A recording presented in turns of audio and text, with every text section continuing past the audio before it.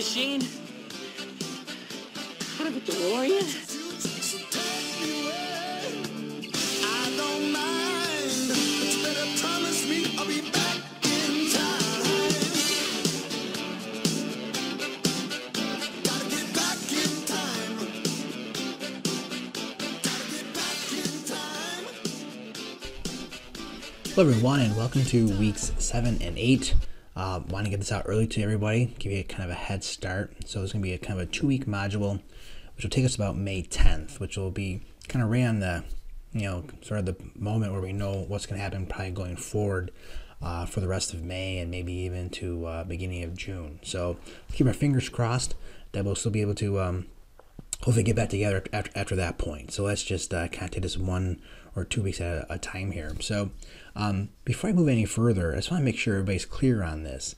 Um, you know, some of you are behind on assignments, and we gotta be careful.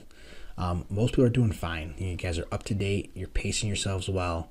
Uh, some folks are still missing assignments that go back to you know when we started the World War One module, when you know these things were, were due like that first second week we were off, um, you know in the middle of March. So that's concerning because now all of a sudden you have a lot of work that's building up. All those assignments can still be completed, but you need to really make an effort to do those. Okay, so let me just uh, pause for a second here so you can hear me. So we put together this um, little sheet to give you instructions. All right. So if you are behind any assignments from Module 9 and 10, you still have time to get those done for the fourth quarter. We will be continuing to grade assignments, and we will put in zeros for those assignments. Those zeros will change once you submit those assignments, but the zeros will not change unless you notify us properly about what work you did. So put together this little sheet. Please follow these directions carefully. If you're missing an assignment, you got to notify us, you know, with the following guidelines. All right. Please send a separate Schoology message or an email about each assignment completed. Okay, I know you might do a whole bunch. You have four or five done. You put them all in one email. Please make a separate email or a Schoology message for each one. The reason why is because you know, kind of organizing these. You know, putting them into different folders and trying to go after each assignment one time rather than going through each student trying to figure out which ones they did. Just saves us a lot of time and helps us get organized, okay? Also, please include the exact name of the assignment in the message or in the email. And then there's our email addresses, okay? So those are the directions I really want you to follow. If you don't notify us, you won't get credit for those assignments. I'm not. We're not going to go through every single assignment posted on Schoology and try to figure out who did what after we grade it the first time. Okay, so just do us a favor, please. We really would appreciate that, and send a separate Schoology message again for each assignment, or an email is fine, and include the exact name. All right, so that's kind of what we're going to be doing going forward. Now, um, here's a Google, here's the uh, calendar. So we're right here making this video on the 23rd. Um, you know, we're kind of wrapping up Bradley this week. We're watching this video on shooting Iwo Jima, which is really good about the cameraman on the on the island. Um, that's all in the Module 9 folder. After this point, on the 26th, this has been posted for a while. You have to watch the Chicago footnote video. That's really important, so you know how to do the Chicago citations for your script.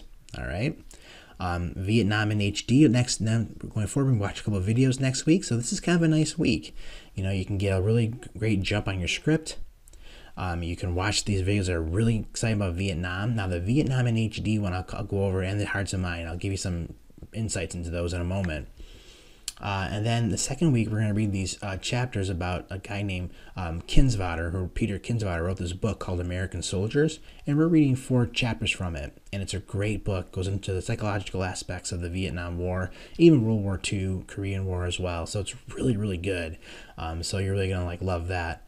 And then on the 18th, your script and your notes are due. Okay, and I'll go back over that one more time as well. So that's kind of it for May at this point. We're trying to keep it light. We're going to wrap up the Vietnam War. Um, we decided not to do our Vietnam War debate because it's just going to be too hard to do this online. If everybody was working at the same pace and everybody was, was together, we could pull it off. But if some people are still doing work from March, it's just not going to work. All right. In our actual online course, you would be held accountable. If you're late, you're late. But because of the situations, we're giving you a lot of flexibility. Um, it's kind of hard to actually make that make that work. All right. So let's let's go into the action sheet here, the rest of it. So starting on May 28th, okay, on Tuesday. You're going to watch these this video called Vietnam in HD. And after watching it, you're going to submit some discussion questions to either Schoology or Flipgrid. Then on the Thursday, April 3rd, you're going to watch this video called Hearts and Minds. You're going to do the same thing. You're going to submit it to either Schoology or Flipgrid, all right? So let's actually just take a look at that first uh, before we go into it. So here is the Vietnam War folder, okay?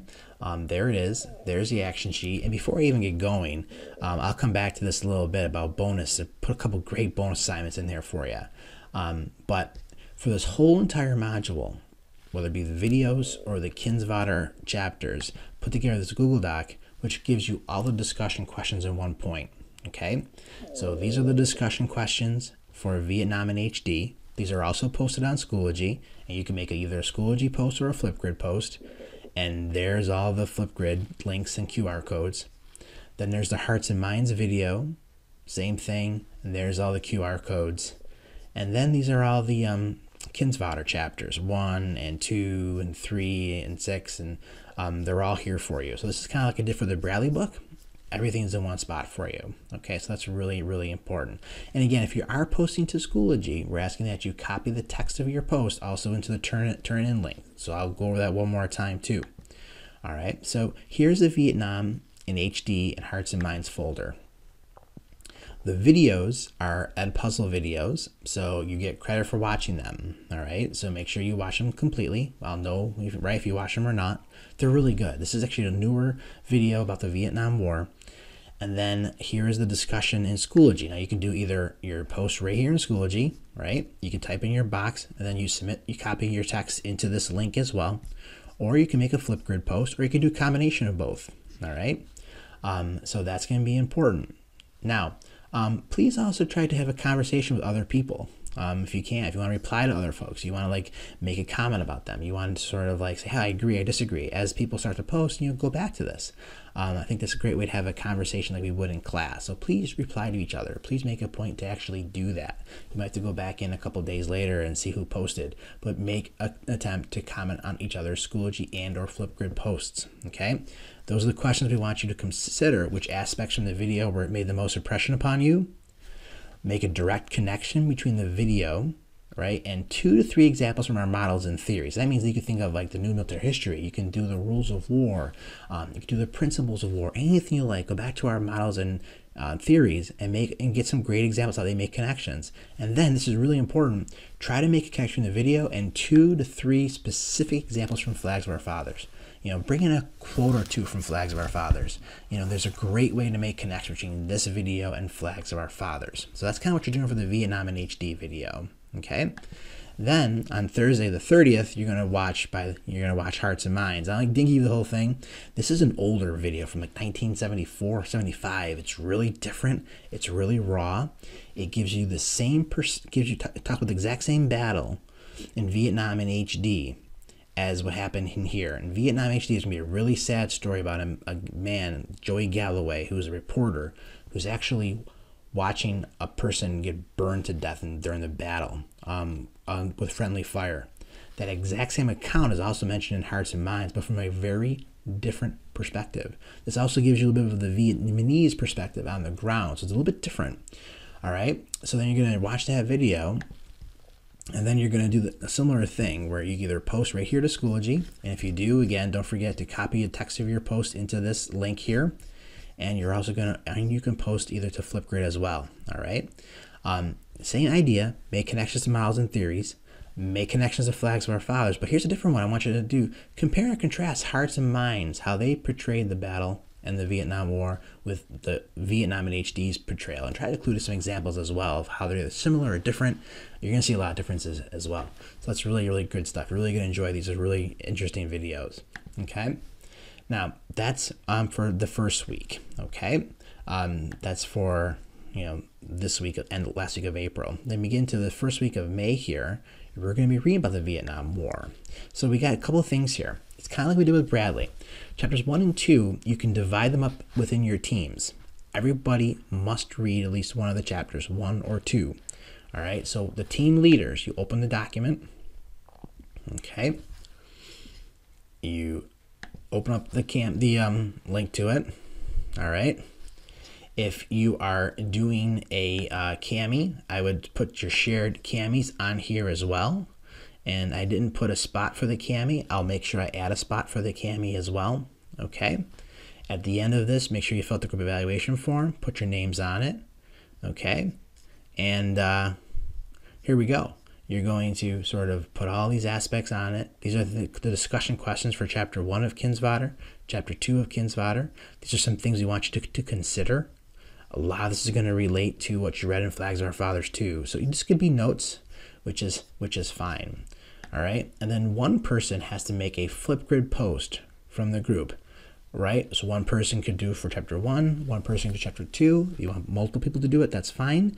But there must be a Flipgrid um, post two about this chapters. Okay, so there's the Kami for chapter one. There's the Kami for chapter two, and there's a discussion. I, I just put this in here so you guys can uh, you know, see, you'll be graded with this discussion, but this is a Flipgrid post, okay? Um, some of you are having some problems with Flipgrid. We're having some allowances for that, but we're really looking for people to make a Flipgrid post for this. If you're having troubles with Flipgrid, please let us know. Okay, so that's an important part of it. Okay, so that's what of doing for these chapters as well. So chapters one and two, same thing. Chapters three and six, same thing. One person opens the uh, Kami, the um, Google Doc, shares it out use the Kami to annotate and highlight. You can put a link on the Kami there. And then uh, you're going to kind of sort of have all this ready to go. So these are really kind of really exciting, really interesting chapters. Okay, I think you're really gonna like it. We're making a lot of connections between these chapters and what we read in the past, and also with the flags of our father's book. Okay, now there's a lot of bonus um, in this module.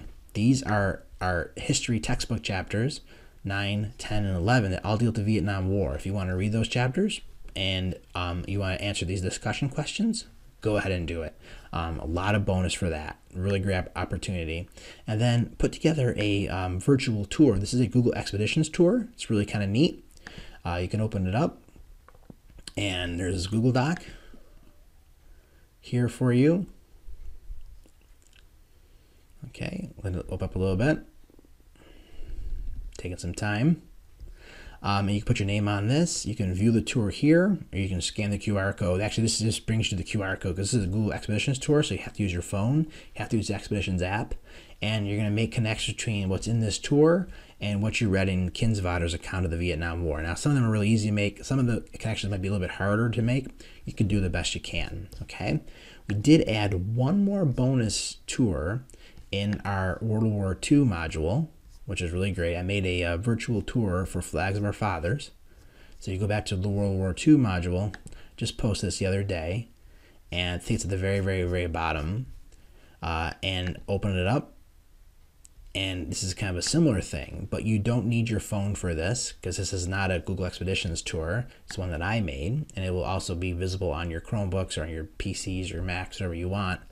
And it's a create tour. You can either scan the QR code here to put on your phone, or you could click here for the tour and it brings you through all the parts of Flags of Our Fathers. We're going to do this in class together, which is unfortunate, but this is the airport at Iwo Jima where you would land if you were going to visit Iwo Jima. So think about Bradley landing at Iwo Jima when the book begins. This is the beach. Oh, it's amazing. And there's the top of Mount Suribachi. There's some of the pillboxes and the bunkers. They're still there. And then we give you some backgrounds where everybody grew up. Bradley's hometown, you know, Frank's hometown, Harlan's home. There's Harlan's High School still there. Pretty pretty interesting. Um, so you can make some great connections between you know where people grew up and the whole story. And I kind of gave you spots to do that. So again, these are really great assignments. I know they're they're they can be time consuming. So if you do them, I promise you will be rewarded a lot because um, I think they're really worthwhile. Um, so I hope you'll take advantage of those opportunities um, that are there for you. Okay, so let's get back to the action sheet then.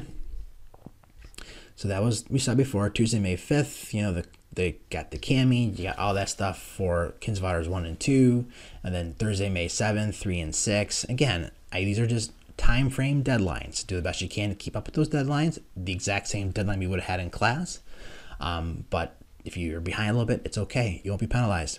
Now, big thing is the script on May 18th. I've gotten some emails about people still confused about the script, so let's just go over this one more time. All right. So on the 18th, these are all the little places where you can go to view and to submit your um, script. and your notes. So let's go this one more time. So we're in the final project resources folder for the assignment. You need to watch this video about how to do a script. This was posted in a previous action sheet. You gotta watch this. Go over exactly how the script is graded, what the expectations are. This is a fully researched script. People are asking how long. Well, your videos really trying to keep within the seven to 10 minute range. And it usually takes you about a minute to read a double spaced page of text. These are double spaced page of text, one inch margins, 12 font, that kind of thing. So about 7, 10 page script. The script is really the narration for your video. Now you can go off script a little bit when you're actually doing the video narration, but it's the research. This is again a thesis driven paper. You're trying to answer essential dramatic question. You're crafting a dramatic story about your topic. So it's going to be interesting, it's going to be engaging, but you're also trying to prove a point. Like, why is this issue so significant? What effects did this have? What changes? Whatever the case may be, you're trying to focus on those aspects. That paper must also be formatted formatted using Chicago footnotes. So again, we went over the whole entire project back in December. If you want to rewatch that video, rewatch it. Here's the script video um, for the assignment drops again. This is the for creating Chicago footnotes. You got to watch that by the 26th. This gives you really detailed instructions how to do the footnotes, also how to introduce sources. We want to hear the names of your historians. We want the names of the primary sources introduced in your text. That's important. Here's where you drop the script. You open it up um, by May 11th, or I think we said May 18th. I'll change that if that's a mistake. Think I gave you one extra week on the script. I did. I'll change that right away um, and you enter this, you just open up this drop for turn it in. Okay, and you submit your script here. Now ours looks different than yours, obviously, but you submit your script to this drop. Okay, so that's important. Okay, so that's how you do that. All right. Um, also, we ask you to take some notes. Now, again, if you want to use NoodleTools, you can. You don't have to. If you want to just take notes on a notebook, that's fine. If you want to take notes about Google Docs, that's great. So as you're reading your sources, you should be taking notes on them so you can make an outline before you write your script. It's important to take notes on your sources before you write your script. That's essential. All right. So this assignment, due also on the 18th, we will change this. All right, is that you just fill out this form. In this form, let us know where to look for your, your notes. Is it in NoodleTools? Cool. Is it in your Google Drive somewhere? Fine. Are you taking pictures of your notes and you're going to put them in your Google Drive? that's fine.